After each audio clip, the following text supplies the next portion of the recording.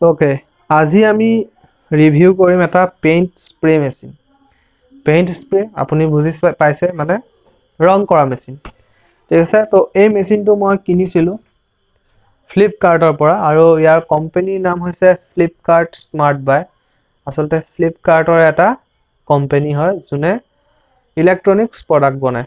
ঠিক আছে তো এওঁলোকে mobile phone headphone power bank মেচিনটোতো বিভিন্ন ধৰণৰ বস্তু তেওঁলোকে বনায়। মুঠতে বেছি আছে। নিজে বনায় নে কি কৰে মই নাজানো কিন্তু তেওঁলোকে বেচে। এই মেচিনটো মই আপোনাৰ কিনিছিলোঁ ষোল্লশ টকাত।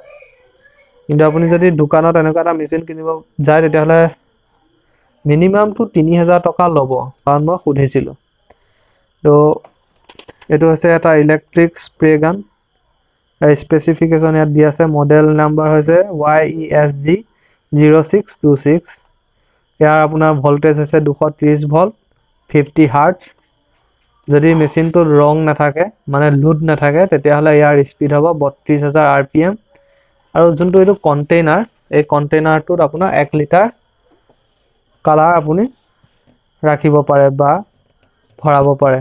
আৰু ইয়াৰ ইনপুট পাৱাৰ হৈছে five fifty watt flow' rate হৈছে point three litre per minute air pressure twenty two K P A আৰু ইয়াৰ নজেলৰ চাইজ হৈছে নজেল মানে এইটো নজেল আছে। তো ইয়াৰ চাইজ হৈছে আপোনাৰ two point five M M আৰু লিখাই আছে মেড ইন চাইনা আৰু ইয়াৰ মেনুফেকচাৰিং ডেট দুহেজাৰ একৈছ আঠ। ঠিক আছে। এই মেচিনটো যেতিয়া আপুনি ল'ব ইয়াৰ হেণ্ডেলডাল যেতিয়া আপুনি চাব ইয়াত ৰাবাৰ আছে ৰাবাৰৰ গ্ৰীপ আছে।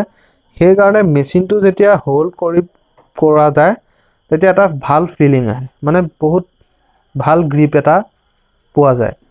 আৰু এইটো হৈছে আপোনাৰ ছুইচ ঠিক আছে এইটো আপোনাৰ হৈছে স্পীড এডজাষ্টেবল ছুইচ আৰু ইয়াত আপুনি ৰঙৰ ডাইৰেকশ্যনবিলাক চেঞ্জ কৰিব পাৰে। আপুনি কেনেকৈ ৰং কৰিব বিচাৰে তো এনেকৈ।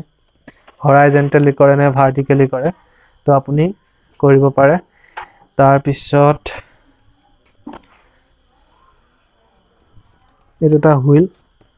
আপুনি ৰঙৰ ডাইৰেকশ্যনবিলাক মানে আপোনাৰ ৰঙৰ যোনবিলাক টোপাল সেই টোপালবিলাক আপুনি সৰু সৰু ৰাখিব বিচাৰে নে ডাঙৰ ডাঙৰ ৰাখিব বিচাৰে সেইবিলাক আপুনি এডজাষ্ট কৰিব পাৰে। আৰু তাৰ লগত এটা দিছে আপোনাৰ চুপি ঠিক আছে? এই চুপিটোত আপুনি ৰং ভৰাব লাগিব। ৰং ভৰাই আপুনি চাব লাগিব ৰংটো পাছ কৰোঁতে কিমান সময় লাগে। এইটো যদি আপুনি ফুল কৰি দিয়ে এটা নিৰ্দিষ্ট সময় থাকে মই সময়টো পাহৰিছোঁ। তো সেই নিৰ্দিষ্ট সময়টোত যদি ৰংটো পাহৰি নাযায় তেনেহ'লে আপুনি তাত থিনাৰ লগাই পেলাই ৰং কৰিব পাৰিব। নহ'লে আপোনাৰ কি হ'ব মেচিনটো জ্বলি যাব।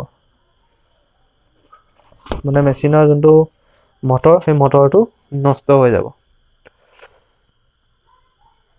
আৰু যেতিয়া আপুনি মেচিনটো ইউজ কৰিব আপুনি বহুত ভাল পাব। বিশেষকৈ মইতো ভাল পাইছোঁ আৰু মই প্ৰথম কালাৰ পেইণ্ট ইউজ কৰিছোঁ আৰু ইয়াৰ কাম মই আপোনাক দেখাই আছোঁ। ঠিক আছে অ'কে তো ইয়াৰ এইবিলাক হৈছে ইয়াৰ কাম। তো ফিনিচিং বহুত ভাল আহে। আপোনালোকে চাব পাৰে। তো ইয়াত আমি ৰং কৰিছিলোঁ। ফিনিচিং বহুত ধুনীয়া আহিছে।